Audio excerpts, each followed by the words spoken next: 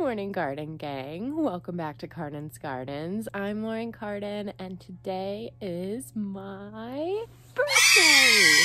I'm really excited to share this vlog with you guys because I figured since it's my birthday, I'll just do like a 31 years of wisdom vlog to hopefully impart and share some of the wisdom that I've learned in this long journey so far. And if not, maybe you'll just get reminded of something you needed to hear or whatever it may be. But I hope that you find this vlog well and that it helps you in some way, shape, or form. So if you're excited to see this, be sure to give it a big thumbs up down below for my birthday and just keep watching.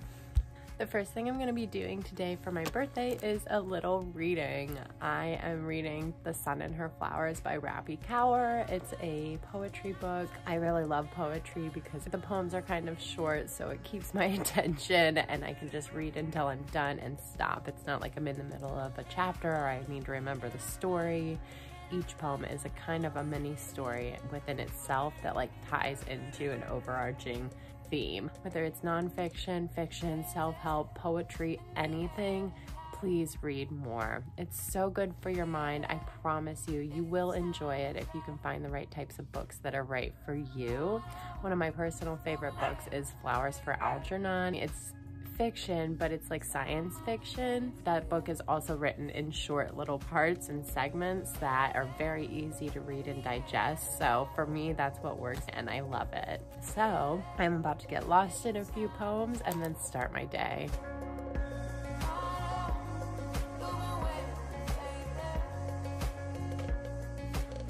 I'm snuggling on the couch with a comfy blankie and watching some Survivor. And so that brings me to my next tip, which is stay comfortable. Make sure you bring a bunch of cozy blankies and robes and cloaks into your life because believe me, it will make it a more pleasant experience. How cozy are you in your cloak? So cozy. Burrito time, burrito time. Everybody lose your burrito mind. It's time for a little coffee. Espresso time. Espresso time. My next tip is make sure you drink tons of coffee to get through this life. At 31 years old, you need it.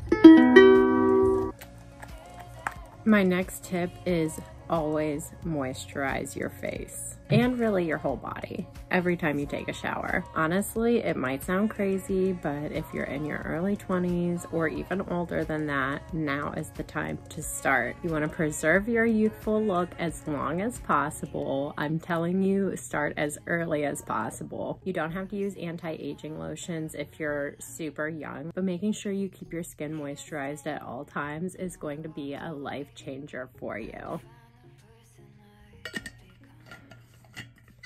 And on the note of keeping your skin nice and moisturized and hydrated, make sure you keep yourself hydrated too. And I'm talking to you, Lauren. We all know what happened with the hospital this summer. I'm just saying your body is like 70 to 90% made of water and your brain is made of water.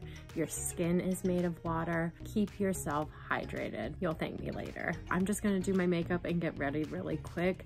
And that's actually my next tip is pamper yourself. Take care of yourself. If you look good, you feel good. And I'm not saying that has to be through makeup, fashion, anything like that. But just take care of yourself however it feels right. If taking a little nap makes you feel refreshed and recharged, believe me, it's going to show when you're around others. Life is so hard. I think 2020 showed all of us that. So wherever you can, just take care of yourself. Try and take a moment every day just to do something that's for you. Again, I'm talking to you, Lauren.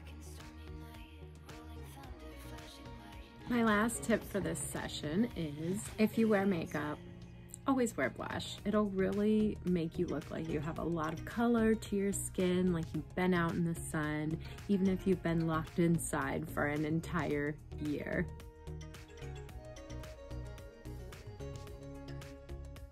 I look like I've been out in the sun now rather than like being a ghost. Espresso time. Espresso time. Another thing that I've learned is that the rules of fashion don't really matter. Honestly, you could wear plaid with stripes or polka dots or whatever you want, and if you feel good in that outfit, you're gonna look good. Whether it's sweatpants or a gown or lipstick on a man, it does not matter. If you feel good about yourself, then that is all that matters. My mom just came and picked me up and we're gonna hang out for a little bit before we go have dinner at my cousin's house. And the next thing that I wanted to share with you guys is that if you love someone, make sure you tell them. Tell them as often as you can because you never know what could happen in life to that person and you don't want to regret any opportunity to tell anyone that you care about them. I, love, you. we, one of us could walk and get run over by a car right now. You know, you just never know. Yeah. Still wear that same outfit. I pulled off that look, that dress so well too. Yeah, that looks really good on you. I did. I said, I don't care what you charge me. I think I paid him like 40 bucks. That's a nice one. Yeah, it is. Maybe I can keep that one. Yes. oh my God.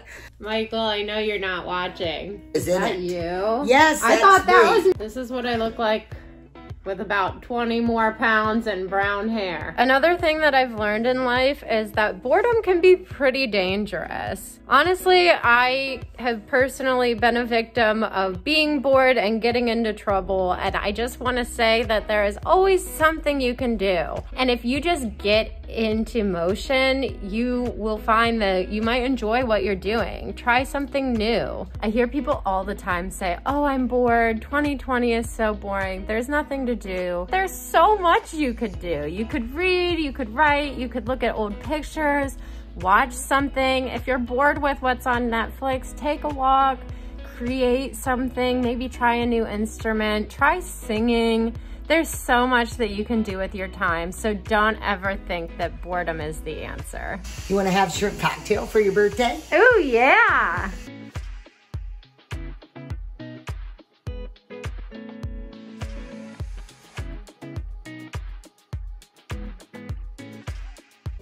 Just remember what I was thinking when I got it. This is my mom filling out my birthday card.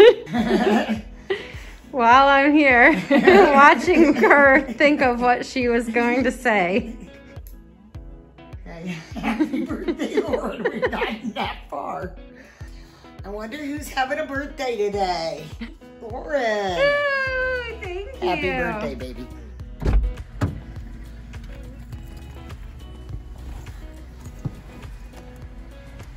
Going over to Jamie's house and I just wanted to take this moment to give you my next piece of advice. So the next thing that I'm gonna say is something that I'm sure you've all heard before, but never, ever, ever drink and drive, folks.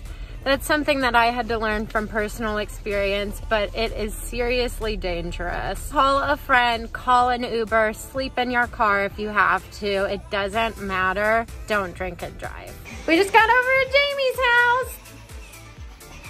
I'm getting picky. Unicorn. And sometimes you just have to have fun. Cut that. Cut. Cut. Chef Jamie in the house. This one's sweeter Another thing I've learned in life is to just stop and enjoy the moment. And that's something that I have to constantly remind myself, but we're so attached to our phones. We're so attached to social media and just capturing the perfect picture or the perfect post. And sometimes you just have to have fun and enjoy the moment. Life's too short not to enjoy it. And don't you forget that.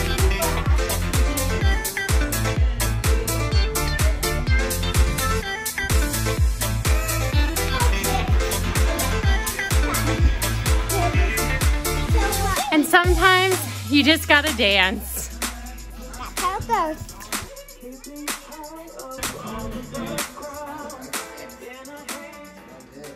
Dinner's done and we're about to eat and it smells amazing. Thank you, Jamie. I was gonna say I got more pepper, hold on.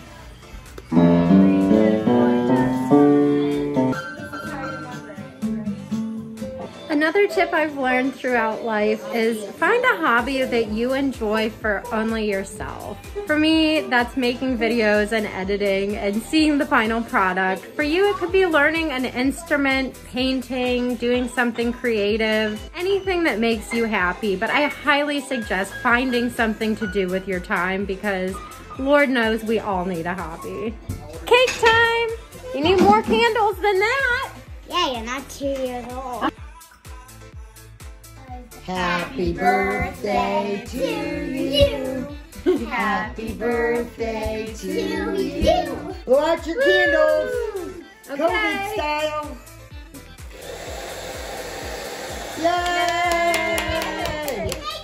And we're going to a party party. You guys want a flower or no flower? I will take no. Flower. I will take a flower. Of course.